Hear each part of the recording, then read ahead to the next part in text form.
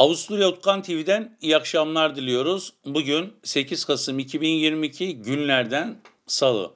Günün önemli gelişmelerini sizlere aktarmak için yine karşınızdayız. Avusturya gündemini 2 aydır meşgul eden 500 euroluk iklim ikramiyelerini almayanlar ne yapacak? Avusturya haberlerinin doğru ve güvenilir adresi Utkan TV.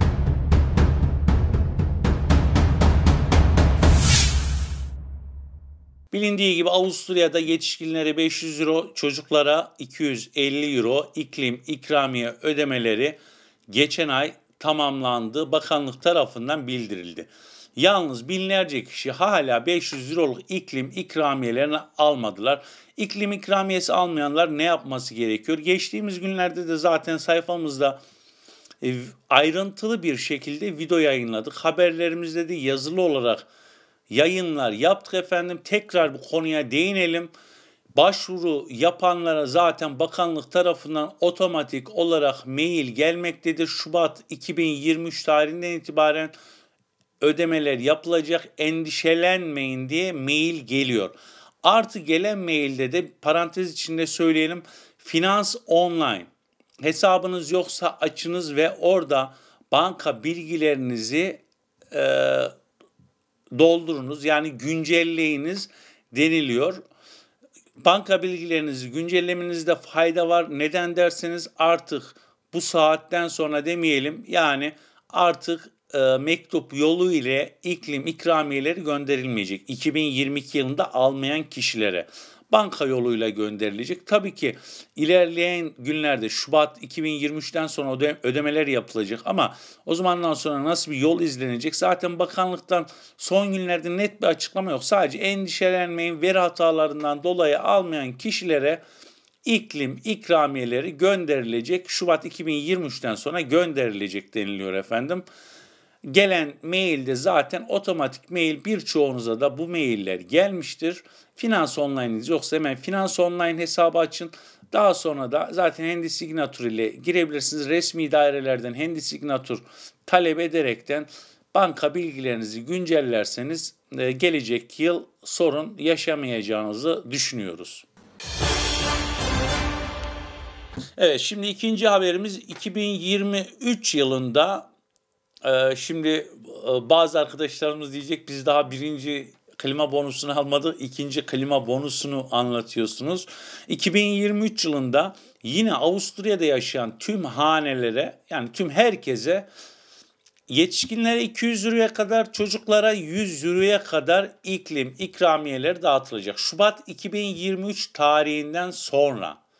Tabii ki e, bu yıl 500 euro dağıtıldı yetişkinlere, çocuklara 250 euro dağıtıldı. Yalnız 500 euro dağıtıldı. Normalde 250 euro idi. Yükselttiler. 250 euro da enflasyon için vatandaşa yardım amaçlı verdiler. 2023 yılında şu an görünen 200 euro ama hükümetten net bir açıklama gelmedi. Çünkü birinciyi tamamlayamadıkları için veri hataları var deniliyor. Tamamlandıktan sonra net açıklama gelecek. Şu an 2023 yılında 200 euroya kadar iklim ikramiyeleri alınacak. Peki ben şurada burada yaşıyorum. Zaten haberlerinde paylaştık efendim. Ee, Viyana'da yaşayanlar 100 euroya kadar, çocuklar 50 euroya kadar. Viyana çevresi de aynı şekilde 200 euroya kadar nasıl belirleniyor? Sizin oturduğunuz semtte eczane uzaklığı, ulaşım uzaklığına göre hesaplamalar yapılıyor. Örnek verelim Graz'da 133 euro, Salzburg'da 133 euro, bazı bölgelerde 200 euro alacaklar. Çocuklar 100 euroya kadar. 2023 yılının iklim ikramiye ödemeleri ise Şubat 2023 tarihinden itibaren yapılacak. Yani binlerce almayan kişi gelecek yıl e, ikinci iklim ikramiyelerinde alacaklar. Yani toplu bir ikramiye almış olacaklar. Avusturya İstatistik Kurumu'nun hızlı tahminlerine göre Ekim ayı enflasyonu %11 olarak açıklandı. Cumhuriyet tarihinde en yüksek seviyeye ulaşmış efendim. Geçen ay zaten Ekim ayında da Ekim ayında %11, Eylül ayında ise %10,5'du enflasyon bilindiği gibi. Enerji fiyatları %54 %4.5 arttı. Pelet fiyatları zaten vatandaş pelet ve e, odunlara yöneldi. Tabii ki burada da fiyatlar pelet fiyatlarında %148,2 arttı efendim. Ağustos ayına göre ise %25,8 daha pahalıydı. Doğalgaz fiyatları %113,5 arttı. Ağustos ayına kıyasla gaz fiyatları %28,1 arttı. Kalorifer yakıtları %105,3 aylık ise %2,5 arttı. Motorin, dizel %52,7 Ağustos ayına göre ise %3,5 arttı. Benzin fiyatları %30,5 benzin fiyatları fazla artmamış e, mazota göre %20 arasında fark var. Bir aya bir ay öncesine göre hesaplanırsa %5,6 benzin fiyatları ucuzladı. Bir derin bir of çekel, oh çekelim efendim. Benzin fiyatları ucuzlamış. Bizim arabamızda benzinli olduğu için. Merkezi ısıtma özellikle Viyana belediyelerinde oturanlar veya bazı bölgelerde oturanlar, bazı evlerde oturanlar Fernvarme adı altında ödemeler yapılıyor. Kurumun açıklamasına göre %61.5 zamlanmış. Ağustos ayına göre ise %35,9 ama tabii ki haberlerini yaptığımızda da üyelerimiz yorumlar yapıyor. Bazı arkadaşlarımız gönderiyor. 2 ayda 80 metre karelik eve merkezi ısıtma olarak 180 küsür ödeme yapan kişiler Aralık'tan itibaren 350 euro olması gerekiyor. Tam hatırlamıyorum. 350 euro olduğunu söylediler.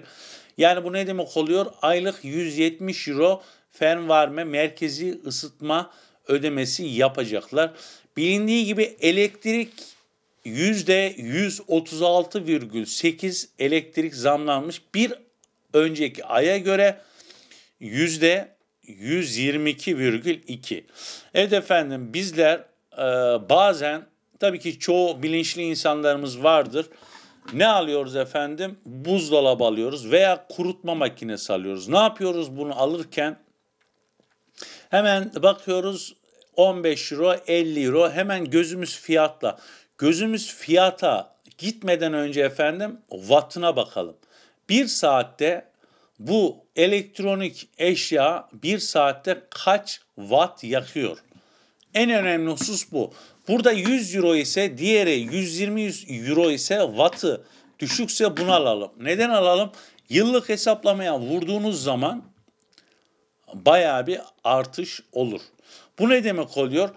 Bir kurutma makinesi diyelim e, saç kurutma makinesi 2000 watt yazıyor. Üzerinde okuduk 2000 watt. Ne demek? Bu saatte 2000 watt elektrik harcıyor. 2000 watt günde e, saç kurutma makinesi kuaförlere örnek verelim. 5 saat kuaför bu saç kurutma makinesini kullanıyor. 5 saatte ne yapar efendim? 5 2000 2000 yazıyor diyelim üzerinde. Bilmiyoruz tabii 2300 de yazabilir, 1500 de yazabilir. 5 saat kullanırsa 10.000 watt eder. 10.000 watt da ne yapar efendim? 1000'e böldüğümüz zaman 10.000 e, 10 kilowatt eder. 10 kilowattı da bir berber 25 gün dükkanı açık bıraktığını düşünelim. Ne dedik? 10 kilowatt günlük e, 250 kilowatt yapar. Ortalama e, zaten ödediğimiz ortalama kilowatt başına 40 sent diyelim. 250 kilowatt dedik. 250 kilowattı da 0.40 ile çarparsak ne yapar efendim? 100 euro yapar. Yani bu berber 5 saat saç kurutma makinesini 2000 wattlık kurutmayı kullanırsa aylık 100 euro, yıllık 1200 euro elektrik ödemesi yapmaktadır. Bu yüzden aldığımız her ürünün saatte kaç watt yaktığına bakalım. Artık elektrik fiyatları artıyor. Zaten bunu herkes hissediyor efendim. Yarınki haberlerimizde iğneden ipliğe neye ne zam geldi hepsini açıklayacağız inşallah. Diğer önemli bir haberimiz ise Avusturya'da 31 Aralık'tan itibaren tüm hanelere 700 euroya kadar elektrik yardımı yapılacak efendim. Normalde GİS e, televizyon ve yayın ücreti o konuya da değineceğiz birazdan.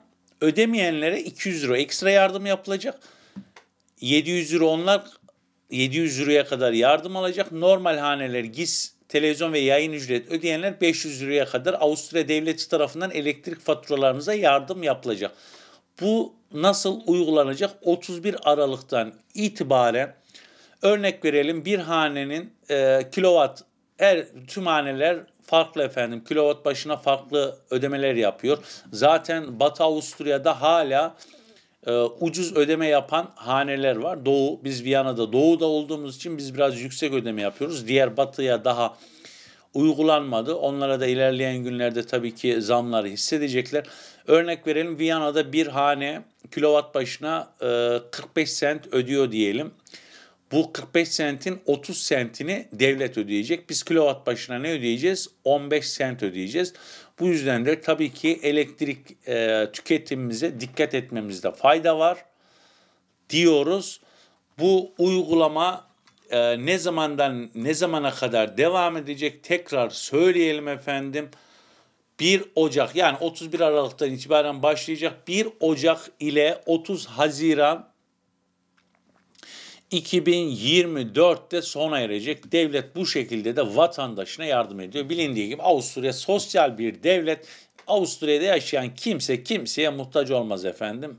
Devlet yardımları zaten yeterince var. Yani ne olur kenarıya 500 euro e, koyanlar gün geçtikçe 500 koyamıyorlar, 300 koyabiliyorlar veya hiç koyamıyorlar diyebiliriz. Ama herkes bir şekilde geçiniyor. Hiç geçinemeyen diyenin bile her hafta sofrasında bir pirzolası vardır efendim. Avusturya devleti 2022 Nisan ve Mayıs aylarında 4 milyon haneye 150 euro enerji kuponları göndermişti. Bu enerji kuponlarını kullanmayanlar, kaybedenler için 31 Ekim tarihine kadar tekrar çevirim içi olarak bu kuponları talep edebiliyordunuz. Tabii ki gün geçti. Eğer bu kuponları hala kullanmayanlar varsa elektrik faturanızdan 150 euro düşecek efendim. Haziran ayından sonraki hesaplamalarınızda 150 euro düşecek. 31 Mart 2023 tarihine kadar bu hediye kuponları kullanma zamanınız var.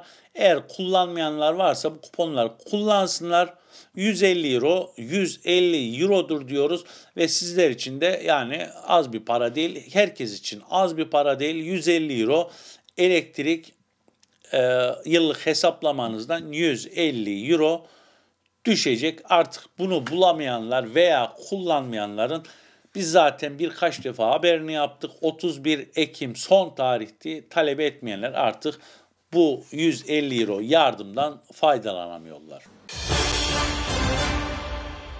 Avusturya hükümeti geçtiğimiz günlerde açıkladı zaten. Şu an yasallaştı. Avusturya'daki iş yeri sahiplerine 2000 euro ile 50 milyon euro yanlış duymadınız efendim. 50 milyon euroya kadar Avusturya devleti işverenlere enerji yardımı yapacak. Bu yardımın başvuruları haberlerinde paylaştık zaten. 7 Kasım yani bugün salı dün itibariyle başladı. Ön kayıt zorunlu.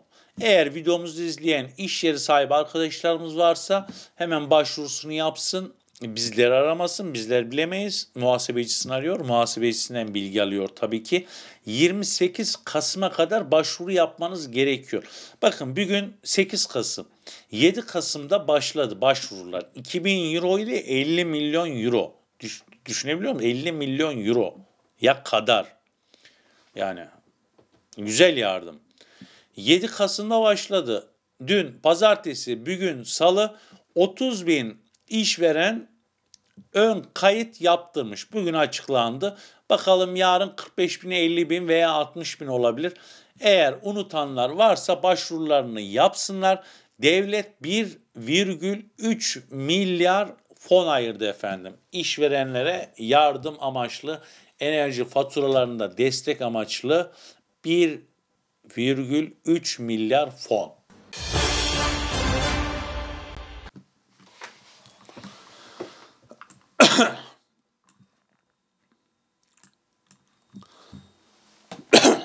Avusturya'da Ekim ayında işsizlik rakamları 319 bin Avusturya'da iş arayan kişi var efendim. 218 bin boş pozisyon var. Tabii ki e, Ukrayna'dan da mülteciler her geçen gün gelmeye geliyorlar diyelim. Önceki gibi tabii yoğunluk yok. Avusturya'da da 45 bine yakın Ukraynalı mülteci var. Bu 45 binden 7 bini çalışmaktadır. Geçtiğimiz günlerde Entegrasyon Bakanı bir açıklama yaptı. Ukraynalıların da çalışması gerekiyor. Önceliğimiz Almanca değil, Almancayı da e, kurslarına gidebilirler. Hem çalışıp hem Almanca kurslarına gidebilirler. Bir an önce çalışmaları istenmektedir Ukraynalıların da tabii ki. Avusturya genelinde de 319 bin işsiz var. Bu da ne demek oluyor? 218 bin boş olduğu zaman yani işsizlerin hepsi işe girdiği zaman Avusturya'da 100 bin işsiz olur. Tabii ki e, yaşından dolayı bazı nedenlerden dolayı çalışmayanlar, sosyal yardım alanlar tabii ki biz e, tüm haberlerimizde tenzih ediyoruz efendim. Ama Avusturya bu şekilde yardım verirse daha önce de söyledik bir kişi Avusturya'da çalışmıyor. Tek yaşıyor diyelim çalışmıyor. Asgari yardım Avusturya'da 973 euro Viyana'da her eyalette değişiyor. Burgenland'da 950 eurodur. Buna kira yardımı var, bilmem ne yardımı var, o yardım, bu yardım. Eylül ayında çalışmayanlara yardım yapıldı biliyorsunuz. Nisan ayında yapıldı, Viyana'da yaşayanlar Haziran ayında yapıldı. Yıllık hesapladığımız zaman zaten çalışmayan bir kişi 1300-1400 euro yıllık olarak hesapladığımız zaman aylık bazda alıyor. Çoğu kişi de çalışmıyor efendim. Yani bu şekilde de Avusturya devletinin yardımlarını istismar edenler var. Zaten bir gün haberini paylaştık. Avusturya'da e, çalışmayan, sosyal yardım alan bir kişi Çek Cumhuriyeti'nde yaşadığı halde 8 yıl boyunca Çek Cumhuriyeti'nde yaşamış. Burada sahte bir ikametgah adresi göstermiş. Evinde elektrik bile yokmuş. Devletten 80 bin euro yardım almış. Tabii ki ne oldu? Bu ortaya çıktı. Diğer önemli bir konumuz ise GİS ücreti, radyo ve televizyon yayın ücreti artık millet illallah dedi. 2018 Ekim ayında yine referandum yapılmıştı. O zamanlar 320 bin 239 kişi imza atmıştı. Mecliste görüşülmesi için ya indirilsin ya tamamen kalksın diye ama ÖFAP, FB koalisyonu vardı biliyorsunuz. Ibiza olaylarından dolayı mecliste GİS ücretleri görüşülmedi. Herhangi bir e, uygulama yapılmadı. Geçtiğimiz günlerde 19 Eylül'de Eylül 26 Eylül arasında yine referandum yapıldı.